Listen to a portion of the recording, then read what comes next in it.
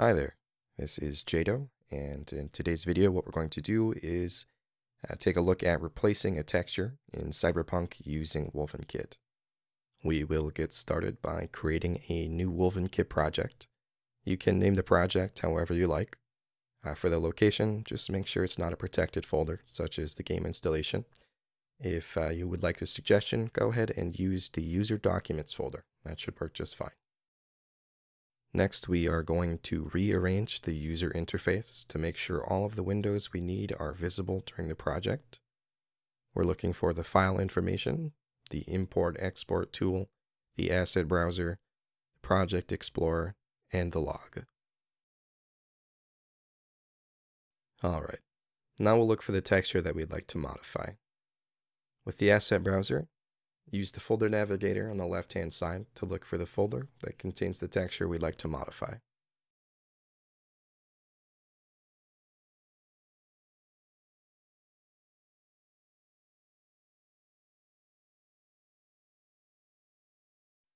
Okay, we'll select the folder, and then we'll move over to the file list and select the texture. You'll see the file information window updates here with the preview of the texture. That looks like the texture we want, so let's go ahead and double click that file and add that to our project. With the texture in our project, now we can navigate to the Import Export tool, select the XBM, and press Process Selected to export it.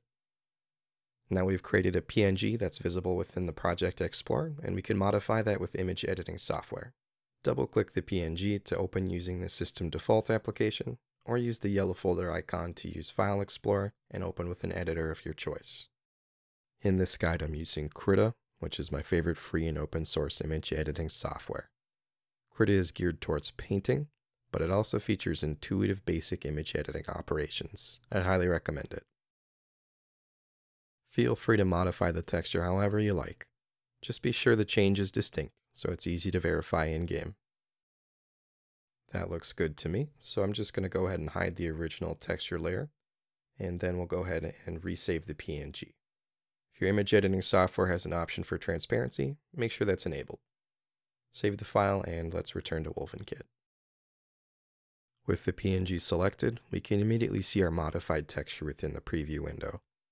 Now we'll import our modified PNG by returning to the Import Export tool, selecting the Import view, selecting the PNG that we'd like to import, and pressing Load Settings. And finally press the Process Selected button to overwrite the original XBM with our modified texture. The mod is now finished, so we'll navigate to the Build menu and press the Install button to create a new archive and automatically install to the game. All that's left to do is verify the mod works in-game. WolvenKit is able to launch Cyberpunk directly, but feel free to use a game launcher too.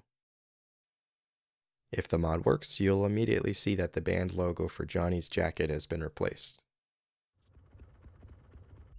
If you don't have Johnny's jacket, feel free to check the description of this video for the item code which can be pasted into Cyber Engine Tweaks to manually add the jacket to your inventory.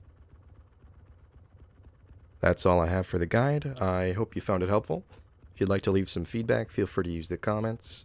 Uh, if you'd like to stay up to date with WolvenKit, check out the wiki in the description below, or maybe come find us on Discord. We are the Cyberpunk 2077 modding community. Thanks for tuning in, and I'll see you around, Chooms.